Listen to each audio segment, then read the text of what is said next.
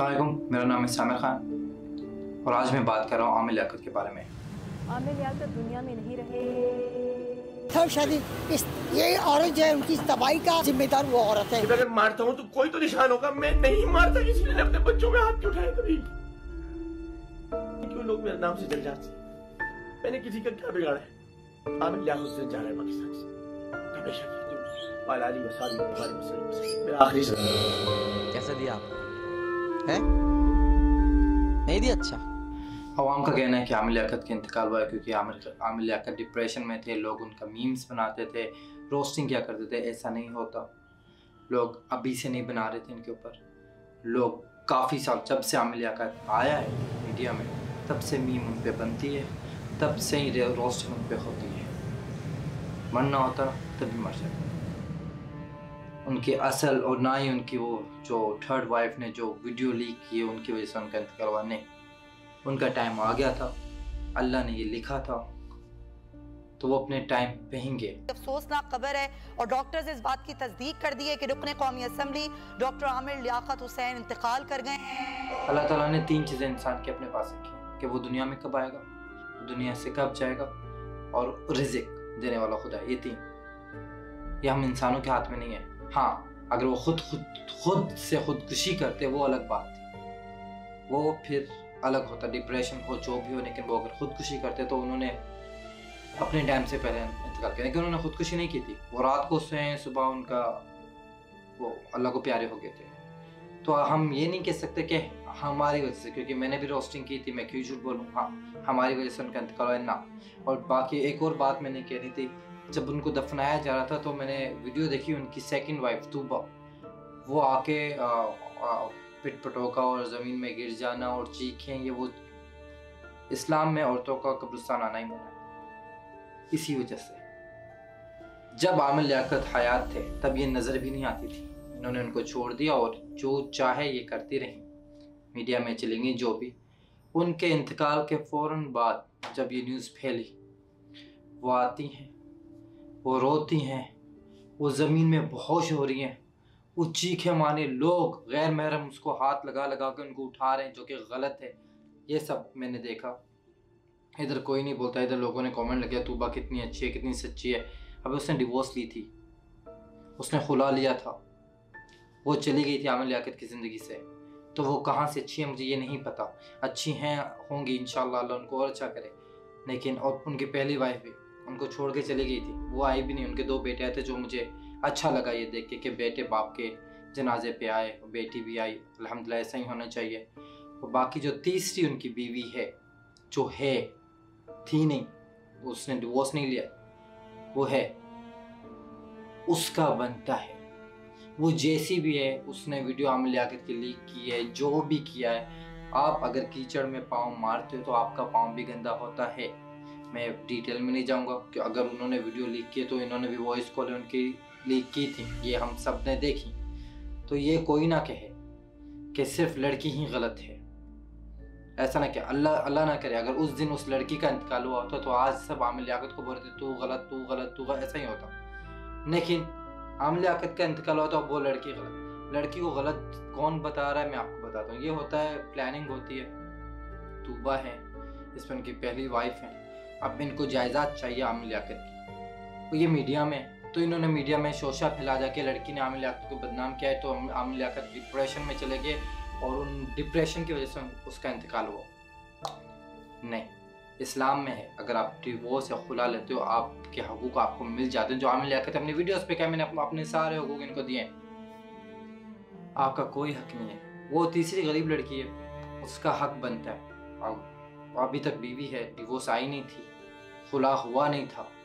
सुलह हो गई थी इनके बीच में। जो भी हुई, नहीं हुई, ये बात की बात है, लेकिन अभी तक उनका डिवोर्स नहीं आया। इस्लामिक नज़र से देखा जाए बेटा बेटी को उसका हक मिलेगा।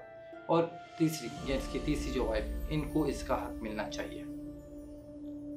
तो अब इस पे आ जाना, इसने आम लियाकत का कत्ल किया, ये गंदी है, ये गलीज है, ये दो नंबर लड़की है। आपको किसने, आपने देखा है? इतनी बड़ी बड़ी बातें कर लो दो नंबर लड़की। पता है क्या बोलते हैं? दो नंबर किसको कहते हैं? कुछ पता है? ऐसे ही तोहमतें डाल देना सही नहीं होता। और डिप्रेशन डिप्रेशन कैसे इंसान को आता है, मैं बताता हूँ। डिप्रेशन तब आता है जब आप एक बंदे पे सारे चढ़ जाओ। हो सकता है आमिल याकत को डिप्रेशन हो, लेकिन इससे बचने का भी तरीका है। इससे बचने का तरीका आमिल याकत के पास, खुद के पास था। वो एक आलिम दीन के आलिम थे जो वो कहते थे, नमाज़ नमाज़, अल्लाह के करीब जाओगे डिप्रेशन से दूर जाओगे। चर्च और ये नहीं होता। नशे नशे की कोई भी चीज़ डिप्रेशन से दूर नहीं करती बल्कि करीब ले जाती है। आपको डिप्रेशन है आप नमाज़ पढ़े। डिप्रेशन है कुरान पढ़े। दुआएँ करें अल्लाह से बात करें। ना कि नशे करके बैठ जाए वो जो भी है वो हम उस पर नहीं जाएँगे अभी उनका इंतकाल हो गया दुआ करो कि अल्लाह उसको आ, उसको माफ़ फरमाए। ऐसे तो जुनेद जम जुनेद जमशद को सबसे ज़्यादा डिप्रेशन आना चाहिए था। उसको रोडों में मारा गया था। उसने तो खुदकुशी नहीं की वो तो जहाज़ क्रैश और उनका उन, वो शहीद हुए बल्कि।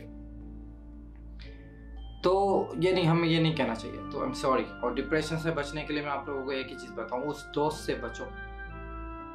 जैसे कि मेरा भी मेरे भी काफ़ी दोस्तों में से एक दोस्त ऐसा था जो क्या करता था बताए अगर मेरी एक एक रोस्टिंग वीडियो या मैं रोस्टिंग नहीं करता मैं आपको बताता हूँ मैं करता क्या असल में मैं जितनी भी बुढ़ियाँ जो एजड हैं आंटियाँ और दादियाँ टिकटॉक में नाच रही होती है ना, मैं उनकी कॉपी करता हूँ, मैं भी वैसे नाच लेता हूँ।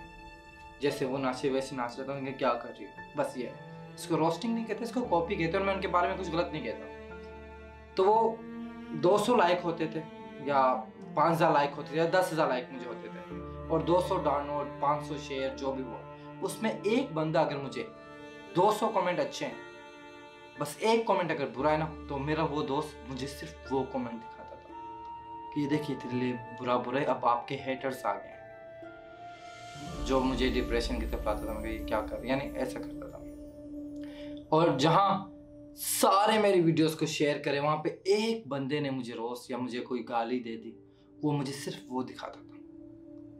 तो ऐसी सोबत से ही बचो, ऐसे दोस्तों से दूर हो जाओ। क्यों? क्योंकि ये आपको गिराने ही आए होते हैं। तो मैंने यही किया, मैंने उसको छोड़ दिया, मैं अकेला हो गया। आप लोगों को भी यही मैं सलाह करूँगा। अगर डिप्रेशन डिप्रेशन आपको आ रहा है ना तो वैसी सोबत ही दूर रखो। दोस्त ज़्यादा बनाने की ज़रूरत ही नहीं है। हमेशा ज़्यादा दोस्त मुसीबत लाते हैं। पुराने दोस्त जो बचपन से दोस्त हैं, उनके से दोस्ती रखो। ज़्यादा बनाने की ज़रूरत नहीं है। बाकी आप लोग हो मेरी फैमिली में। आपको नहीं कह रहा, आप मेरी फैमिली में मुझे आप लोगों से बहुत प्यार है। ये तो और मुझे खुशी होती है। जितने भी Indian show Pakistani show Bengali show भी सऊदी अरब में, जहाँ पे भी हुए मैं गया हूँ।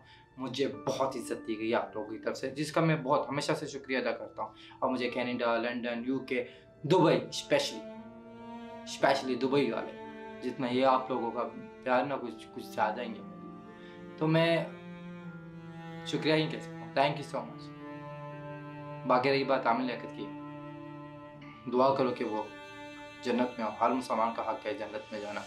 बाकी हर कोई अच्छे काम करता है, बुरे काम करता है। ये ना बोलो कि हम लोगों की वजह से उसका इंतकाल हुआ है। उसकी उस दिन लिखी थी, जब जब तक आपका दाना पानी है इस दुनिया में, आपको कोई मार नहीं सकता। जिस दिन ख़त्म हुआ तो ये एक्सीडेंट भी हो सकता है हार्ट अटैक भी आ सकता है। लोग आपके, आपको आके मार भी जा सकते हैं। कुछ भी हो सकता है उस दिन। आमिल आकर साहब का उस दिन इंतकाल होना था। वो ऐसे हो या तैसे हो, होना था। हमें दुआ करनी चाहिए उनके लिए। अल्लाह उसकी फैमिली को सबर अता फरमाए। और पाकिस्तान को मैं यही कहूँगा कि हक पे चले। बहुत हो गया ना नाइंसाफ़ी और थैंक यू सो मच मेरी इस वीडियो को शेयर करना लाइक करना अच्छी लगी हो तो कमेंट भी करना। और खुदा बहुत शुक्रिया। आम खाएगा आम। कैसा दिया है? नहीं दिया? अच्छा। किसी को नहीं मालूम कि अल्लाह ताला को कौन सी एक अदा पसंद हो जाए, जो सारी खताओं पे भारी हो। और कोई एक ऐसी खता इतनी नापसंद हो जो सारी अदाओं पे भारी हो तो बस उसने जन रखना चाहिए। और सबसे कहूँगा कि बस जो कुछ भी है, बस उनको माफ़ करें, दिल में अगर कोई बात है भी, और दुआ करें कि उन्होंने बहुत अच्छे काम किए, बहुत सारे, उनके अच्छे कामों को सिर्फ़ याद रखें, और दुआ करें, अल्लाह ताली आसानियाँ फरमाए।